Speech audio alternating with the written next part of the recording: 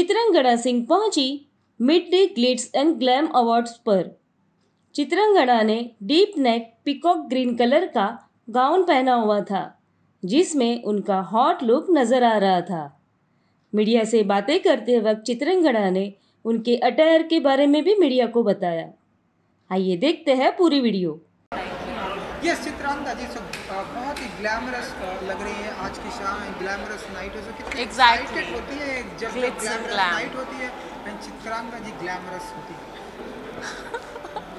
इतना dramatic question no I am very happy इन्होंने आज मुझे इनवाइट किया है and we are celebrating glitz glamour cinema is all about glitz glamour so आज हम I believe I am getting an award I don't know so yeah happy to be here so what are you expecting tonight क्या कुछ expectation रखते हैं Honestly, ये first time है मैं पहले कभी I haven't attended this award but yeah I mean let's see there are a lot of people attending a lot of names you know who are known to to uh, with the industry so i am looking forward to the evening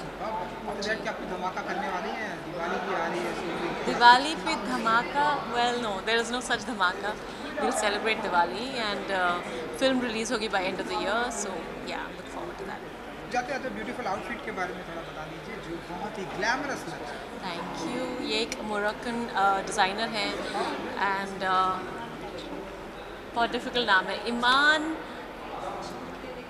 Iman अलाजला a अलाजला Iman Alajlan. I hope I got that right. So Moroccan designer that I'm wearing today, and yeah, that's it. So now photo आप करेंगे? जी जी.